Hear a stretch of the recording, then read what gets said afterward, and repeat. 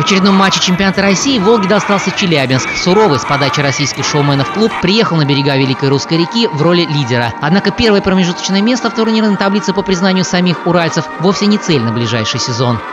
Задача выхода мы такую задачу пока не решаем, потому что у нас инфраструктура, ничего не готово. Но занять место в первой тройке мы поставили такую задачу.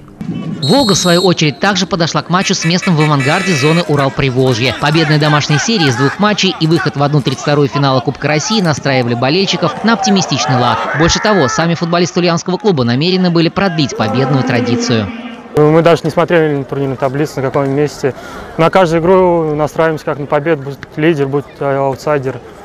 Правда, продержать свои ворота на замке хозяевам стадиона «Старт» удалось недолго. Челябинск молниеносно разыграл комбинацию из двух точных передач, и Никита Зырянов точным ударом поразил ворота голкипера Дмитрия Красильникова. Шла всего-навсего десятая минута встречи.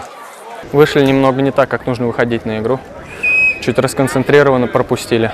Потом чуть выправили ситуацию, забили гол. Считаю, что равная игра была. 20 минут потребовалось волжанам, чтобы выровнять игру не только на поле, но и на табло. Ответный гол получился зеркальным отражением гола Уральского. Снова проход по флангу, прострел в центр штрафной и четкий удар набегающего футболиста. В роли ассистента воспитанника ульянского футбола Валерий Захаров. В роли Галиадора его партнер по детской футбольной секции Денис Рахманов. В оставшийся час игры зрители вместо забитых мячей увидели много борьбы за инициативу. Больше всего ничья расстроила тренерский штаб хозяев. У меня был претензий только по самоотдаче, что дома нужно додавливать соперника. Даже если что-то не идет качество игры, нужно на характере вырывать матч, чем раньше Волга славилась. Дома так не играет. Надо заносить мяч вместе с ногами, с руками, с телом там. А так дома не, не, не выигрываются матчи.